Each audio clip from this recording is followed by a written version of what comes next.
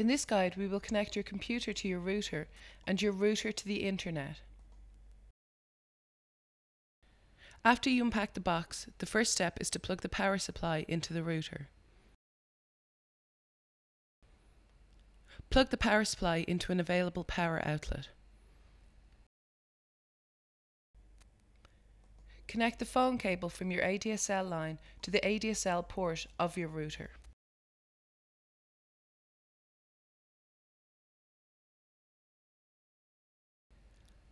Connect one end of the supplied Ethernet cable into one of the router's four LAN ports.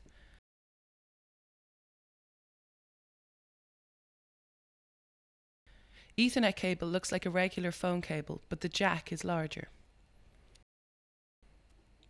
Connect the other end of the Ethernet cable into the LAN port of your computer. You will see the LAN link lights light up by the computer's LAN port and on the front of the router. This means a physical connection has been established between the computer and the router. The power light, ADSL light, WLAN light, and one LAN port light are all lit.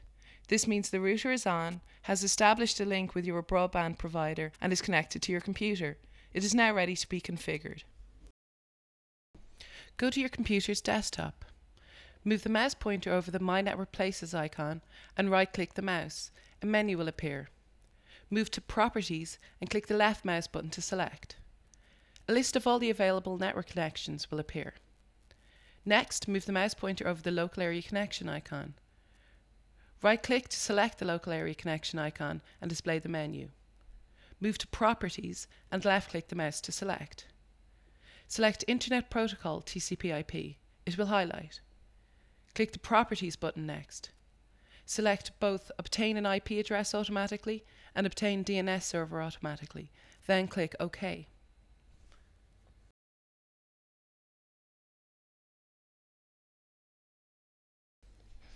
Next, we want to log into the router's configuration page to ensure the connection between the router and computer is sound.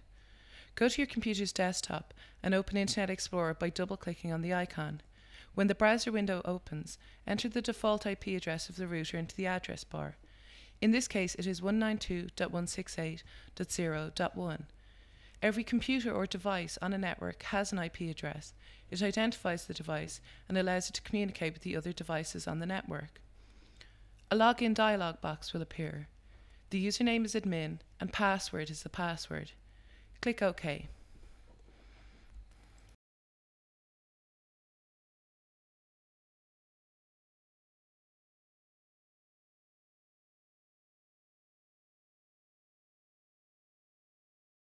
Input the details of your broadband account. If you're not sure of any details, ask your ISP.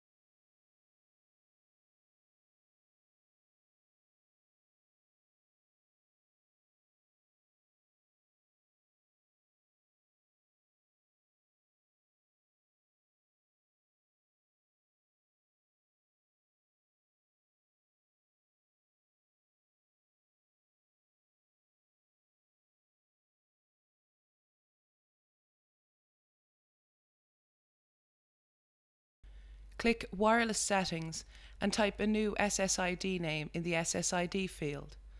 This will identify your wireless network and distinguish it from others that might be in your area. Here we've called the Wi-Fi network My New Network. Click Apply.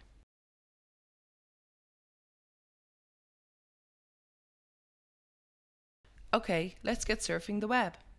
Open Internet Explorer, type a web address into the address bar and hit enter. Success! Your new network is connecting to the web.